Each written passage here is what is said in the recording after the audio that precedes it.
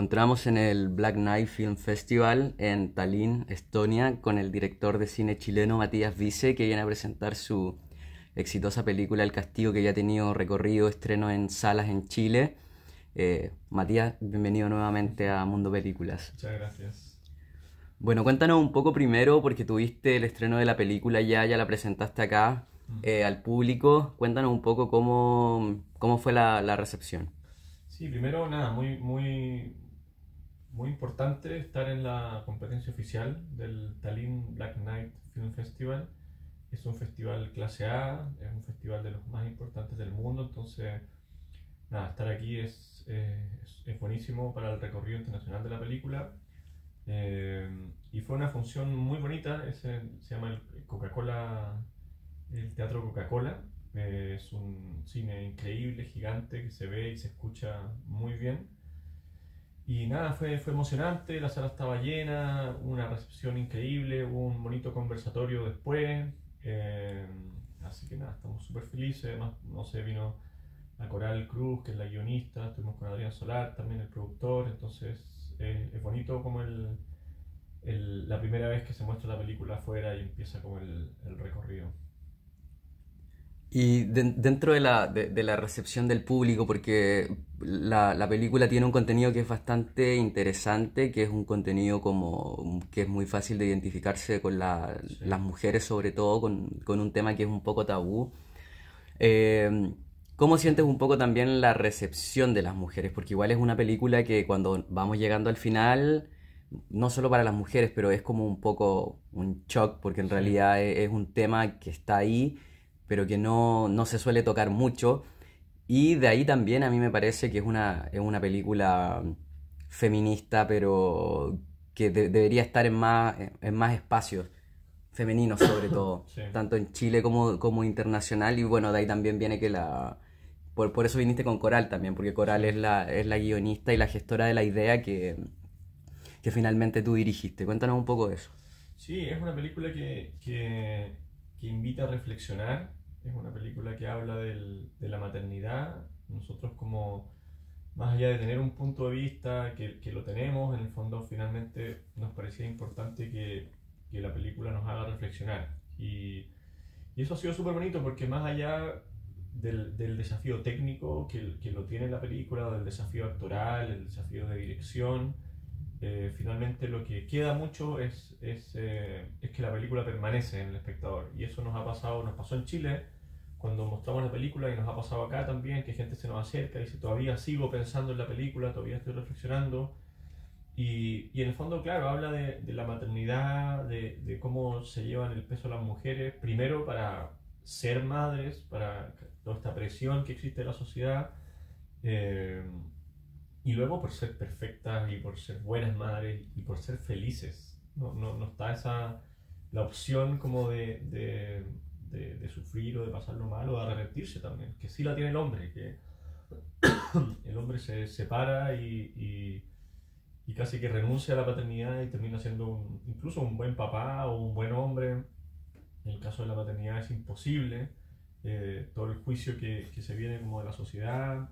Eh, y de los roles, de los pesos de los roles. Aquí en la película nos planteamos qué pasa si las cosas son al revés, qué pasa si damos vuelta a la balanza. Entonces, como con pequeñas reflexiones o metiéndonos en, en, en poquitos espacios que quedan ahí como medio tierra de nadie, la película abre un tema que está totalmente tabú o debajo de la alfombra y, y en esa reflexión que, que, es cómo nos organizamos como pareja, cómo nos organizamos como sociedad. Eh, porque más allá de un tema de pareja, por el momento es como, ok, cómo nos dividimos los roles, las tareas en la casa o, los tiempos, pero también es cómo nos organizamos como sociedad. Antes, claro, los, los niños eran como de la manada, ¿cachai? Eran alimentados, criados por, por, toda la manada, pero ahora, nada, es la mujer la que es responsable y ojalá que no se note que, que tiene que llevar al hijo al doctor, que no falte nunca al trabajo, ¿cachai? Que si el hijo está enfermo tiene que salirse a la mitad para ir a buscarlo al colegio, como que casi que, que invisibilizar esa parte de la maternidad. Entonces, claro, cómo nos organizamos como sociedad también, más allá de como pareja o como familia. Entonces, a través de una historia como de suspenso, que es claro, la historia de una pareja que se les pierde un hijo en el bosque, pareciera que, que, hasta ahí nomás es la película, finalmente, eh, claro, la película te invita a reflexionar sobre un tema mucho más profundo. Sí, porque de hecho hay, hay, hay, varias cosas en la película, lo que mencionaste recién, pues cuando ella hace el, el, juicio hacia él, ha llevado dos veces al niño al, al doctor y él le responde, no, yo estoy seguro que lo he llevado más veces y ella se acuerda perfectamente de las situaciones en las que él llevó mm. al, al, hijo al doctor. Entonces ahí se genera, con, con, ese tipo de cosas se va generando eso, eso que dices tú, que es como un, un, un, análisis como de nuestra sociedad en base a, a, la maternidad, porque efectivamente si fuera ella la que lleva dos veces al niño al doctor, el juicio es como mala madre, claro, es completamente brutal Mientras que como que se naturaliza un poco la ausencia o que el padre no haga más cosas porque, claro, está... Tiene que trabajar, claro. tiene horario, pero ¿qué pasa cuando se da vuelta? ¿Qué, pasa cuando, cuando el hombre es el que tiene que faltar al trabajo por ir a buscar al, hijo al colegio cuando está enfermo, por llevarlo a las clases de natación, ¿cachai? Entonces como, como todos esos puntos que quedan medios como en, una nebulosa, la película los aborda y los cuestiona eh, sin tener una respuesta en el fondo, simplemente como poniendo un tema sobre la mesa e invitándonos a, reflexionar cómo somos como sociedad y sobre todo cómo somos nosotros mismos. Y hablando de, de, de los desafíos de, de, la película, ¿en qué momento decidiste hacer la película en un plano secuencia y cómo fue el trabajo de filmarla, porque me imagino que tuvo que haber sido, eh, tú, eres un director muy, muy, como muy de teatro al principio, que como mucho ensayo. Eh, cuéntanos un poco cómo fue esa parte. Sí, fue muy bonito cuando, cuando Coral, o sea, yo estoy hablando con Coral, teníamos muchas ganas de trabajar juntos. Coral Cruz, que es la, es la guionista de la película, ella, ella había sido consultora de guion de La Vía de los Peces, había sido consultora de guion de La Memoria del Agua, de Tu Piel teníamos muchas ganas de, de, trabajar ya ella como, como guionista y, y, me propone la idea de una pareja que se les pierde un hijo en el bosque y un poco qué les pasa a ellos con, con esta situación. Eh, y ahí yo le propongo que la hagamos en un plano secuencia. Yo desde sábado, que es mi primera película, que es una película del año 2003, eh, tenía muchas ganas de volver a hacer un, un plano secuencia o una película en plano secuencia pero sentía que, que tenía que, que la historia en el fondo, o sea, que jugarle a favor, que sea una mejor película si yo la contara en un plano secuencia eh, y no un lucimiento técnico. Entonces, cada vez que me venía como una idea de plano secuencia, yo decía, no, ahí prima la forma, prima el, la cámara, más que que lo importante sea la historia. Me pareció con, con el castigo que que la historia en el fondo iba a ser una mejor película si la contábamos en un plano secuencia, los personajes iban a poder desarrollarse y para los actores también iba a ser por un lado muy difícil porque no podían haber errores y era un trabajo como de mucha delicadeza y de mucha potencia, pero por otro lado tenía algo a favor que tenían toda la película para vivir el viaje o, el arco dramático sin cortes o sin ninguna intervención. Y además es una película en que en que queríamos que fuera todo muy realista, que, que, que no hubiera como una intervención cinematográfica ni, ni de música, ni de cortes, ni, ni, de saltos de tiempo, un poco ni de artificios en el fondo. Ser muy realista, el plano tampoco es un plano que, que busca como el lucimiento de la cámara, ¿cachai? O, o, o, demostrar lo difícil que, que, hicimos, sino simplemente eh, era seguir a los actores, seguir la historia de la manera más simple y, honesta posible. Y fue un trabajo increíble, primero de mucho ensayo, en que, en que pudimos eh, compartir, leer el guion, hablar de nuestras propias experiencias, como enriquecerlo, como enriquecer los silencios, enriquecer la historia, que ya venía con un increíble guion. Eh, mucha conversación con la Antonia Segers, con el Néstor Cantillana, con la Cata Saavedra también, eh, y luego ya vino un momento realmente de ensayar, de aprenderse los textos, de, empezar a, pararnos y decir, bueno, hagamos la, la, la, película realmente. Estuvimos en el Parque Maguida, ahí en, en Santiago, en, La Reina, eh, con todo el equipo, porque era una película que, que no, no, se podía ensayar solamente los actores. Aquí había una maquinaria que se rompía como esta tercera pared en el fondo y, lo, y, el equipo técnico estaba dentro de la película porque la película pasaba en 160 grados, entonces en los ensayos tenía que estar el camarógrafo, el, bueno, Gabriel Díaz, que es el director de fotografía y cámara de la película, tenía que estar el sonidista, tenía que estar el que hacía foco, tenía que estar el asistente de dirección, la asistente de dirección, o sea, todo el, todo el equipo eh, que estaba detrás de cámara tenía que estar en esos ensayos. Y primero ahí, en el Parque Maguida, fuimos como armándola, yo quería que ellos estuvieran en un exterior, que, que pudiéramos poner los autos, que se pudieran mover como en, la naturaleza. Y luego ya nos fuimos al sur y en el sur tuvimos, tuvimos dos semanas, tuvimos una semana completa de ensayo, que, que, primero empezamos a ensayar como, no sé, las primeras cinco páginas, ahora vamos a ensayar desde la, no sé, de las 5 a la 10, y al final de la, de la primera semana ya ensayamos la película completa, hicimos una toma cero, que le llamamos, como una, una primera toma, para después hacer siete tomas eh, finalmente de la película, y, y cada día, pues además hacíamos una toma al día, porque la película sucedía al atardecer, entonces necesitábamos esa, esa luz, ese momento con, con, los rayos del sol para que al final de la película sea casi de noche. Hacíamos una toma y luego yo me iba a, a revisar esa toma con Rodrigo Saquiel, que es el, mi montajista, que es el mismo montajista de mensajes privados, eh, que no íbamos a montar la película, pero sí la mirábamos, tomábamos nota, revisábamos y un poco hacíamos el trabajo de montaje porque yo llegaba con correcciones al, al, para la toma siguiente. Entonces, no sé, tenía 30 anotaciones, llegaba donde Antonia y le decía, no sé, desde cosas técnicas como en este momento hay que pararse por acá o hay que darse la vuelta así, hasta cosas más de qué es lo que está sintiendo el personaje.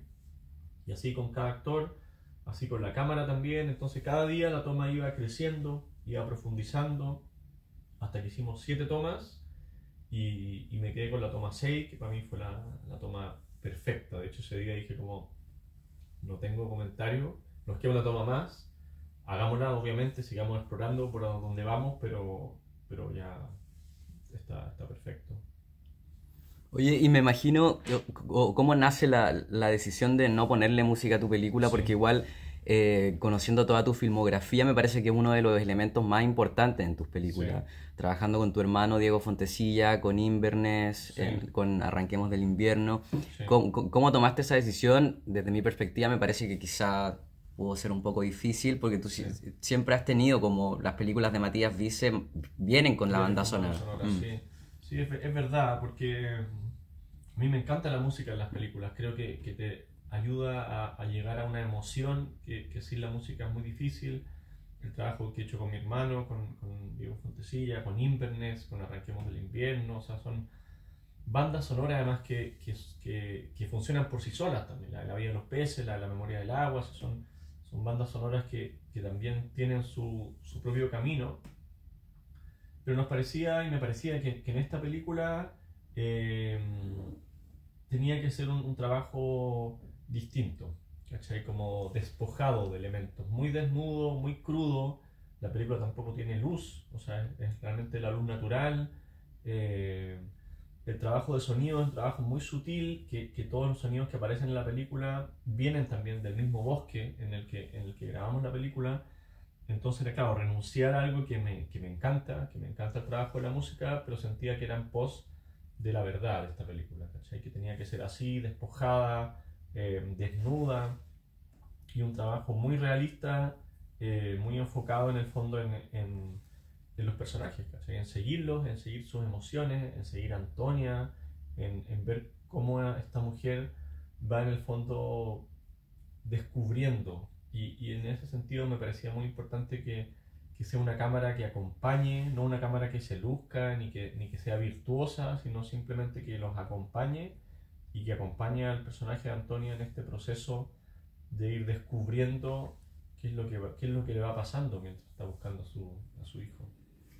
Y para filmar esta película, ¿cuál fue el, el, el mayor desafío que tuviste aparte de la pandemia? Mm. No, yo creo que era que era un desafío actoral, o sea, había un desafío de dirección, un desafío técnico, pero finalmente la, el gran desafío era, era actoral, o sea, era que llegáramos a los lugares que, que queríamos llegar y y sobre todo con verdad, que eso, eso fue súper bonito de, hablarlo con, con, Antonia, por ejemplo, que claro, uno tiene una, una idea y, y, en el guion lo poníamos, o el personaje llega a un estado emocional o está llorando, y Antonia me decía una cosa muy bonita que era como, no sé si voy a llegar ahí, ¿cachai? Como no voy a mentir. Si es que no llego ahí eh, de verdad, eh, no, no, no voy a hacer. Y, y eso era muy bonito porque era, bueno, pero yo también quiero llegar ahí, ¿cachai? Entonces, bueno, construyamos la, la, construyámoslo para llegar ahí y todo va a estar en el otro actor, ¿cachai? Todo va a estar en Néstor, todo va a estar en, en lo que te proponga también la Cata, Saavedra o el, o el Jair Yuri, ¿cachai? Como en los ojos del otro actor hay que encontrar esa verdad y llegar a esa emoción y además de la situación que estábamos viviendo. Igual obviamente había una, una situación, está el hijo perdido en el bosque, está anocheciendo, o sea, es una situación límite realista, porque no hay como elementos eh, que sean muy extraordinarios, es, todo súper realista, pero sí a mí me encantó esto como de, bueno, hagámoslo de verdad, real, y si hay que buscar al niño y meternos en el bosque dos minutos, bueno, lo vamos a hacer, eh, para que la, la, película y para que el espectador sienta también esa, esa, verdad. Entonces, logramos finalmente llegar a esa emoción, la película tiene un, un final, siento yo, actoralmente increíble, eh, de una potencia brutal eh, y llegamos de, de, verdad. O sea, realmente, y en eso ayudó el plano secuencia, ¿cachai? En, en, en tener como este viaje eh, emotivo con un equipo además que era pequeñito y que se iba moviendo por el bosque como un cuerpo, ¿cachai? Y eso era súper lindo, que, que estábamos ahí, el equipo técnico, el sonido, la cámara, el foco, el diafragma, moviéndonos así como si fuéramos un, un solo cuerpo. Y si el trabajo, el mayor desafío era actoral, ¿cómo, bueno, tú, tú ya trabajaste con, con Néstor y con, con Antonia en, en, mensajes privados, eh, y sabiendo el, el, el, desafío que tenía esta película, la parte de, de la actuación, ¿cómo, sí. ¿cómo decides quedarte con ellos? No, porque bueno, para mí era, era, yo necesitaba una especie como de selección chilena, o sea, quería como a lo mejor de lo mejor y, y, para mí Antonia Seges es increíble, el Néstor Cantillana también, la Cata Saavedra también, o sea, como necesitaba tremendos actores, también está el Jair Yuri, el Santiago Urbina, o sea, realmente un, un elenco increíble.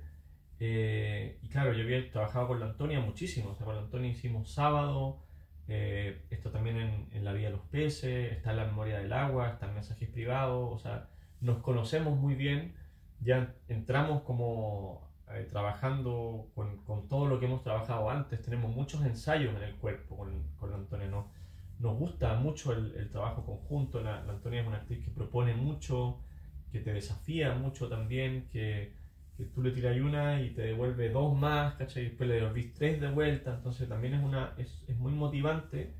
Y, y, con Néstor también, o sea, Néstor un actor que, que también habíamos hecho La Memoria del Agua juntos, teníamos muchas ganas también de, de volver a hacer algo y, y, claro, a mí me...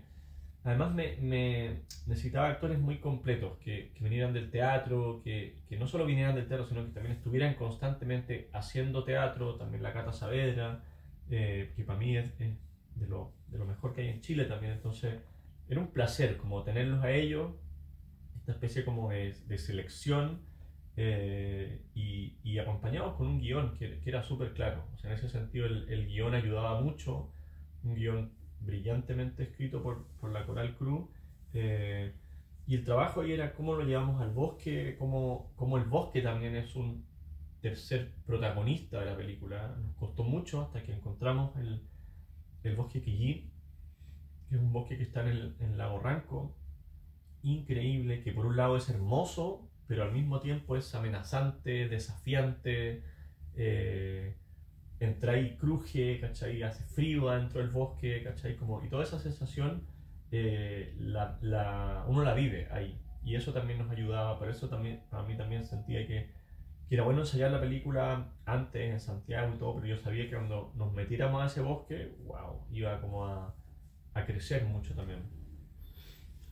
Oye, y finalmente, después de desmenuzar un poco más la, la, película y el trabajo que realizaste. Estamos hoy día en Tallinn Black Knight Film Festival, donde ya presentaste la película, la película también se ha presentado en ciudades cercanas y va, y va a seguir durante el festival. Eh, están en la competencia. ¿Qué, qué, alguna expectativa con...? Porque están en la selección oficial además. Sí, también sí. eh, Sí, siempre, siempre bueno, ya estar en la, en la competencia es, es increíble, o sea, ser parte de las películas seleccionadas es, es un tremendo empujón para la carrera internacional. Aquí empieza en el fondo la carrera internacional de, de la película. Seguramente, bueno, todavía no se puede contar mucho de lo que, de lo que viene, los festivales que vienen, pero la película va a tener un, un recorrido importante. Y, y nada, nosotros estamos como disfrutando eh, estar acá. Ya los, los premios ya un poco no, no dependen de uno, dependen de, de circunstancias, de los jurados, de, de, de las otras películas también, que también es una, una, una programación súper potente. Entonces, nada, como disfrutar y, y confiar también en, en, lo que está pasando con la película. O sea, la película realmente genera conversación y eso lo vimos en Chile eh, en, y lo estamos viendo acá. Y eso no, a mí me tiene súper orgulloso. ¿Y posibilidades o, o, todavía no se sabe? Porque la película estuvo estreno en Chile, estuvo en cartelera, le, le, fue muy bien, la recepción del público fue increíble. Eh, la película, porque obviamente la gente nos va a empezar a preguntar dónde, ¿Dónde la puedo, dónde claro. podemos verla. Sí, todavía no, no se puede contar, ¿Mm? pero, pero va a estar, bueno, va a dar una vuelta larga de festivales, ¿Mm? seguramente va a estar en plataformas en, en, en, algún momento no muy lejano. Y bueno, y en Chile todavía sigue disponible en algunas salas independientes, ¿Mm? la película está recorriendo regiones también, en el verano también van a pasar muchas cosas con, con el castigo en Chile. Y, y la carrera internacional que recién comienza, así que en verdad es como muy bonito. Por, primera vez yo creo que, que, yo arranco con una película en Chile, que también fue bonito. Primero empezar en Chile y después hacia afuera, y acá ver, ver claro, qué es lo que pasa con la película y, y, y qué camino tiene también. Bueno, Matías, muchas gracias por haber conversado con nosotros nuevamente, con esta tremenda vista de fondo. Eh, felicitaciones por la peli y mucho éxito con, con, con lo que se viene. Ya, pues bacán. Muchas gracias por la entrevista.